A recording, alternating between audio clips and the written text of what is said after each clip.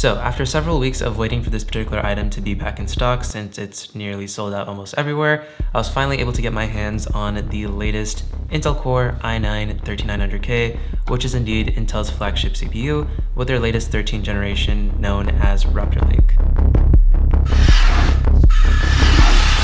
Now for those who have been on my channel since early 2022, you guys may have seen my video editing PC build, info card up there if you haven't checked it out already, which can easily handle things like 8K and 12K workloads. And with that PC, I am running the Intel Core i9-12900K, which is Alder Lake's flagship of last year. And since I already own most of the components in order to make a 13th gen build, I decided that I wanted to put it against the test to last year's Alder Lake, see how much better it is in performance, and especially how it handles with creative applications, productivity, and to see whether or not Raptor Lake is the right choice for you. When I started following Intel CPU pathway a few years back, Raptor Lake was one of the first few generations that I was really excited to see since it would be introducing a 24 core CPU up to 5.8 gigahertz, but especially last year in 2021 and earlier this year in 2022, I was just in such a dire need of an upgrade from my 8th gen Intel CPU. I was just stuck in that proxy workflow, which just took up so much of my time, and it really slowed down my performance when it came to outputting certain projects and videos. And because of that, I decided to go with Alder Lake since it was finally a new platform for Intel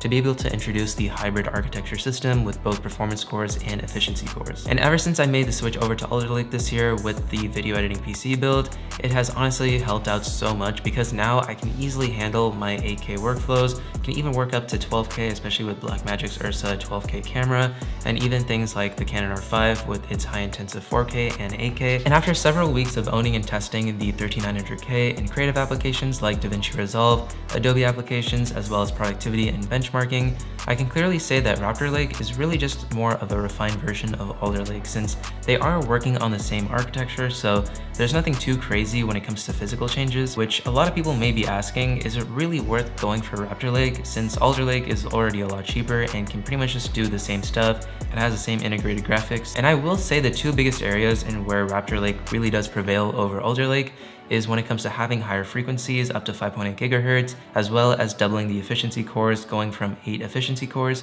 on the 12900K all the way over to 16 efficiency cores on the 13900K. And another neat feature going with Intel Raptor Lake is their continued support for DDR4 memory, especially since DDR5 is just really expensive. And it is crazy to see that platforms like AMD are now converting their users to go completely over to DDR5. I'm sure that Intel at some point is going to stop doing continued support for DDR4 and completely moving on to DDR5, but it is really nice for people that are thinking about picking up 13 gen, especially with Raptor Lake, and for those who just want to save their DDR4 since it may already be good as is, and they don't necessarily need to see themselves getting an upgrade with their memory. So for gaming, I'm not doing a whole lot of content over it, but of course I do know that 13 gen is pretty much one of the top of the line CPUs to get right now, especially with 13900K leading in its performance. I would say that if you are looking for a CPU that is better for price to performance, and for those who are a bit more on a budget, I would recommend looking into the 13600K or the 13700K, which is either the i5 or the i7,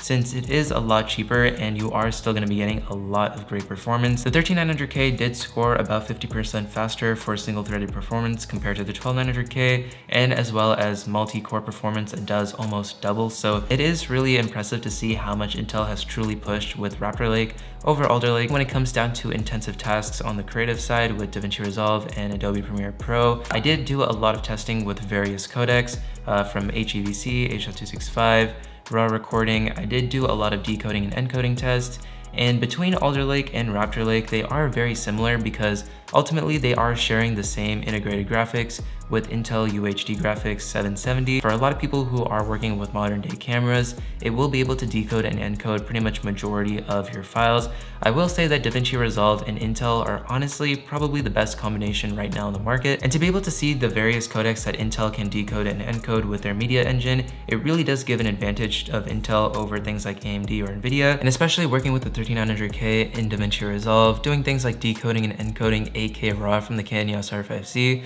which for those who know is definitely a data-driven intensive codec. It is just really impressive to see that the 3900K completely dominates it with just utilizing up to 50 to 60% of the CPU, whereas with the 12900K doing the exact same thing, it utilizes about 80%. So it's a good 20% less, with Raptor Lake compared to Alder Lake. Now when it comes to the downsides, one of the biggest complaints with Alder Lake was really just the power consumption since it is a very power intensive CPU. And with Raptor Lake, it is pretty much the same thing where again, it is going to draw out just relatively the same amount as Alder Lake, if not slightly more power. It really just depends on person to person if it's gonna affect you that much because personally for me, it has been running perfectly fine. I really haven't had many issues. But again, for those who do get worried about having a heavy power consumption CPU, that may be something up to you, but personally, I don't think it's that big of a deal. I think some people may be just taking that too out of context. When it comes to my conclusion thoughts with the 3900K, again, it is indeed a very impressive CPU,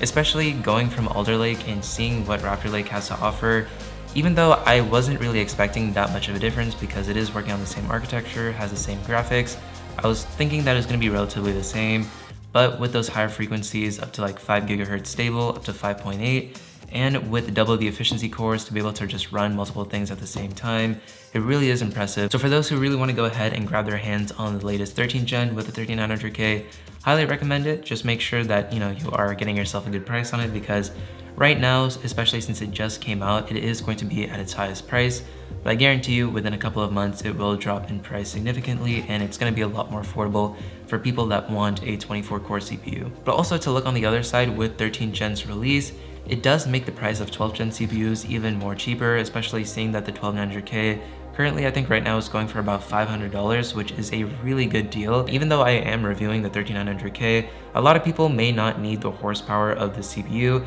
and going for something like the i5 13600K or the i7 13700K may just be a better option for you. However, for the people that may be in the category of looking to upgrade, but you may not be in a dire need of an upgrade, that is where my recommendation might just change a little bit. I'd highly recommend just to wait about a year or two for either 14 gen or 15 gen because to be able to see Intel coming out with Meteor Lake and Arrow Lake, finally we are going from the 10 nanometer processing down to like the 5 or 6 nanometer processing and it's just gonna be a new era for CPUs and it's just gonna be a really exciting time. And with that, that is gonna do for us on this video. If you guys have any more questions on Intel's Raptor Lake or the 13900K specifically, let me know down in the comments below. I'm more than happy to respond to you guys there. And if you guys like this video, make sure to give it a like, comment, and subscribe, and I will catch you guys on the next video. Peace.